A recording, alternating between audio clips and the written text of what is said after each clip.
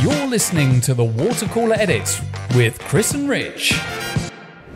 Hello, everybody, and welcome to the Water Cooler Edit with MyBayut, with myself, Chris, and Rich. Hi, Chris. How are you? I'm all right, Rich. How are you doing? I'm doing well, thank you, Chris. Enjoying the weather, which is uh, gradually getting, well, not even gradually, it's getting hotter and hotter, isn't You it? You didn't put any quotation marks of enjoying the weather because I can assure you we've been filming quite a bit recently in various locations, and even at 7 a.m., you start pretty much boiling by about 9. You start sweating profusely, and you know me, I'm always decked out in black because I don't wear Mm. any other colors except for my watch, and the heat really gets to you sometimes. Well, it does, yeah, because you're basically a beacon for the sun. It's just that you're attracting it. you That's know? true. People around you are very grateful because they're getting none of it. It's all going to you. Do you know what I mean? It's like you're, you're like a star. That's, that, that's one way to put it. I don't think anyone's referred to me as a star before, but you know what? I'll take it. And you know what? I'm going to put it on my LinkedIn profile as well. Rich once called me a star. This time, we're going to look at the sales side of thing. Now, this hmm. is quite interesting because we obviously know over the past couple of months, we've had some huge events happen here in the United Arab Emirates, including the Expo 2020, which has drawn in a lot of attention when it comes to basically snapping up property. Uh, there's also current affairs that are happening around the world as well, which has also caused quite an influx to happen too. Uh, so it's probably safe to say that the sales side of things is booming. Yeah, things are booming out there. So uh, the Dubai Land Department announced record-breaking uh, statistics for the first quarter of 2022. So you've got 13,608 sales transactions recorded during that period, with a total value of 30.62 billion dirhams, which is a tasty amount of money. And when you think about that, that's only for Dubai as well. Then the mm-hmm. other six Emirates to factor in. And I know Ras Al Absolutely. Khaimah is very popular as well. But here we're going to be discussing Dubai only. And as we did last time, let's play a little game because we're going to start off with luxury villas in popular neighborhoods here. So mm. you have a choice of five, okay? But I only want one from you, and that's it. So I'm going to, you know what? I'm going to make it a little bit easier for you. I'm going to give you all five here. So we've got Arabian Ranches, Dubai Hills Estate, Palm Jumeirah, Arabian Ranches 2, and the Villa. Now, of the top 5 mm-hmm. which one do you think tops our table here? Firstly, I was going to retire from this game after the last time because I actually did quite well, and I think I can only go downhill from here. But I'm going to give it a go. So, what was the most popular of those areas in the first quarter of 2022? Wow, this is tough. It's tough. It's tough. I'm going to go. Dubai Hills Estate was one, wasn't it? You said Yes, it was yeah, one so I'm going to go Dubai Hills Estate. Drum roll, please. You are close, but no banana. Right? Because Dubai Hills Estate actually comes in second, uh, according to. I'm not, but yeah, it's pretty close. It's pretty close. Uh, which is an impressive number, no doubt. But it is Arabian Ranches that uh, has proved popular. Now, Arabian Ranches is probably out of the five that we have, or we mentioned actually, is probably one of the oldest establishments where you can get luxury villas here. Because Arabian Ranches, it seems like it's been around since forever. I think it actually was one of the first.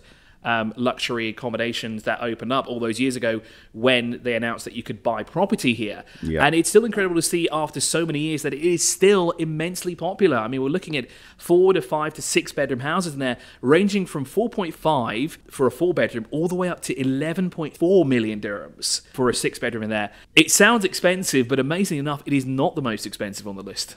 No, it's certainly not the most expensive. I think with, Arabian Ranches as well, just to say, it, it retains its popularity consistently, and I think that's because they've modernised the community as the years have gone by. So I don't think it's dated particularly, and it's it's got everything there, and that you could almost live. If you wanted to, to never go out of Arabian Ranches, you have everything that you need to live a very healthy lifestyle there. So I think that's why one of the reasons it retains its popularity. Also, the return on investment you can get a 5.83% return on investment. It's not too shoddy. So, but yes, the most expensive of the top five, Yowzers. The Palm Jumeirah. No surprise, to be honest. I mean, you're essentially living in the ocean. you are, yeah. There's worse places to live. Yeah. Not least- under. but Exactly. you- you- Uh, but I'm pretty sure that does exist somewhere here. I'm quite sure I've seen it. But at least in the Palm Jumeirah, you live literally on the beach. I mean, you get fantastic views. The villas there are just absolutely breathtaking. I just go down there to look at cars most of the time. But uh, I've got a friend who does live down there, and I've got to say, he has a fingerprint scanner to get in and out of his door. He doesn't have a traditional lock and key. He Really? has a fingerprint scanner, yeah, which is pretty cool when you think about it. That is pretty cool. That's a bit of a stretch away from uh, my one bedroom apartment in DIP. But look, I mean, the Palm is epic, isn't it? And and let's be honest, the prices are quite epic as well. That is true. Uh, you're looking at for a four bed, sixteen point seven five two million dirhams. For six beds, this is a whopper.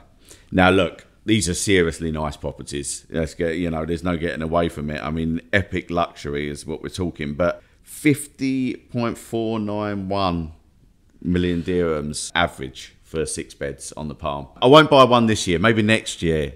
Maybe next year. I'm almost there. I'm going to come and install your fingerprint lock for you because one of my hidden talents is uh, locksmith.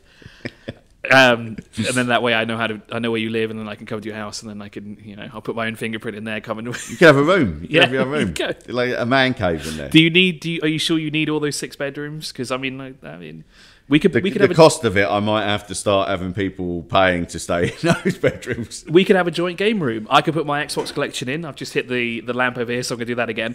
uh, we could have a joint game room. We you could put your Switch stuff in there. I could put my Xbox stuff in there. I'm, I'm guaranteed together we've got more than enough stuff to put. in We, we, we've got enough stuff for the ultimate man cave, let's be honest. Let's do it. Yeah. So Geek chic. Geek chic. So, as I said, we're looking at the luxury apartments now for sale as well, according to the market report from Q1 for 2022. Uh, and of course, there looks to be a little bit of a crossover here because we've got both the Palm Jumeirah and Dubai Hills Estate appearing on the list, with Dubai Hills Estate being probably one of the more prominent bits there because it's one of the newer areas in Dubai to live in. But the other three don't come as much as a surprise to me. You've got the always epic Dubai Marina, which to me feels like everyone wants to live there, and pretty much most of the time everyone does live there. Uh, you've got JBR again is a place that has a lot of amenities. You've got the beach right there, and again, it feels like just everybody who lives there and they have everything. It's like your own little world in there. So our fifth and final one there is downtown Dubai. And Rich, if we look out the window right now, not just because it's an easy commute to the office, but I think there's one, maybe two reasons that you'd want to live in downtown Dubai. One or two very big reasons why you'd want to live in uh, downtown Dubai. Obviously, the uh, we're looking at it right now. The Burj Khalifa, Yowzers. Let's be honest. Like downtown Dubai is pretty exclusive address. It's got everything. It appeals to huge, wide variety of people. It's not too shoddy. Let's say that it's not too shoddy. It's uh, beautiful skyscrapers, Dubai Mall right on your doorstep, fountains everywhere. What more do you want? Yeah. And it's in close proximity to everything. Again, it's kind of like a micro city. So there's plenty of things to do and see around downtown Dubai, of course. Now let's move on to the affordable villas to purchase here in Dubai. We'll move on now to affordable villas to buy in the United Arab Emirates, but better yet in the Emirate of Dubai, because again, we have five areas to live. But of course, we have some newcomers here Damac Hills and Damac Hills 2, which is Akoya by Damac. It looks like they've been, that's kind of been renamed. It has uh, indeed. recently. The, the artist formerly known as Akoya by Damac. Akoya was one of those places that was really far away. Like it seemed like it was the middle of nowhere. Mm. But now, over the past couple of years, since it's been built, it's become a community. There are so many things there now. I mean, you've got supermarkets, schools. Um, it doesn't feel like it's in the middle of nowhere anymore. I think that's the thing. I think it's become far more accessible. For example, I have some friends who live. I was going to say Akoya, but it's not. It's uh, it's Damac Hills too. Um, I have some friends who live there. When we first, they moved in quite early after the development opened, um, and there wasn't that many people there really. It was a bit of um, a barren wasteland. Now you've got when you go there, so many of the villas you barely see any empty villas now. It's very populated. Um, there's a reason for that, right? It's, the properties are good, the amenities are good, the facilities are good. Families can move there, and it's and it's relatively affordable. I think because Dubai is getting bigger places that seemed like they were out in the middle of nowhere, out in the middle of the desert, are becoming, and the road connections have obviously become so much better, that those places are not as far away as they used to be, if you see what I mean. So, in our top five in our sales market report for Q1 2022, uh, it looks like the best return of investment you'll get, or ROI, would be in Damac Hills, and that's 6.92%, Rich. Now, let's quickly move on now to apartments, affordable apartments to buy, according to our report. Now, let's bring that game back, but let's change it up a little bit here.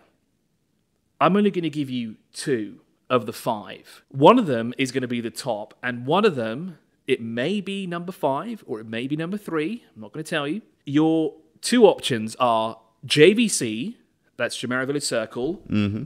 or DSO, which is Dubai Silicon Oasis. Which of the two do you think was a top hour market report for affordable apartments in Q1 and 2022 to buy? Let's have a think about this. Now, look, I know Silicon Oasis is popular and pretty consistently popular, actually, it has to be said. However, in recent years, the interest in JVC, I, from the limited amount of prior knowledge I have, I know it's kind of rocketed. So, Chris, I'm going to go with my final answer is going to be JVC.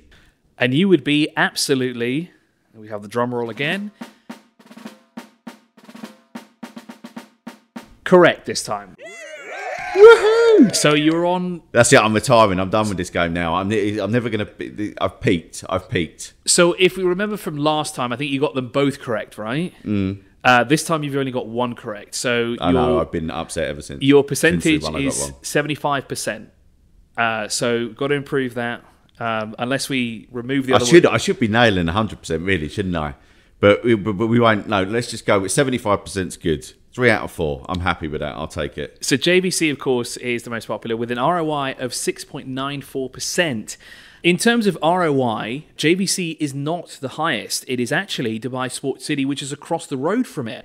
Now, Dubai Sports City is another one of these areas that's been around for a long time, and they've really developed it over the past couple of years. I mean, they've got cricket stadium that's always jam packed when we have events that happen here.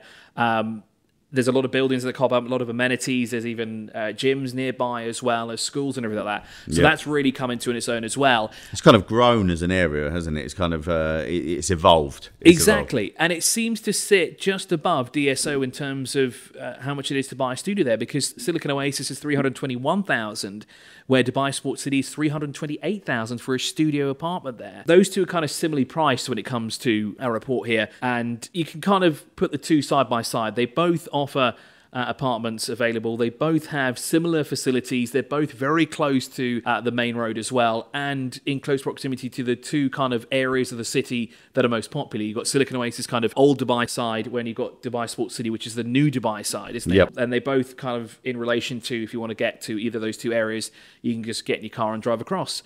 Yeah, I mean, I think the correlation we see in prices between the two areas is not a surprise, considering we know how close they are to each other, the amenities and facilities that they share, the access, the road access that they share, and the prices. I mean, look, so for as we've said, for a studio in Dubai Sports City, you're looking at an average of three hundred twenty-eight thousand dirhams. Uh, for a one bed, 492,000 dirhams, and for a two bed in Dubai Sports City, you can be, you'll be looking at an average of 732,000 dirhams. That's competitive, and to say the least, really. I mean, it's um, potential return on investment of almost eight percent. You can see why people uh, are interested and are getting involved in that. It's not a surprise, right? That was a brief overview of our Dubai sales report for Q1 2022. Rich, thank you so much for joining us. And of course, if you want to read, get more insights, we've got some great price comparison as well. You can read all about it on the MyBayut blog. Just look up Dubai sales report for Q1 2022. Now, Rich, are you excited? I very rarely get excited, but uh, I, I I could potentially be excited. So there's something big happening with Bayut and Dubizzle in terms of property. I think I might have an inkling of what you're talking about. I think you do too. And that wraps up this episode of the Water Cool Edit. As I said, Rich, thank you so much for joining us. Thank you. And we'll speak soon. You're listening to the Water Cooler Edit with Chris and Rich.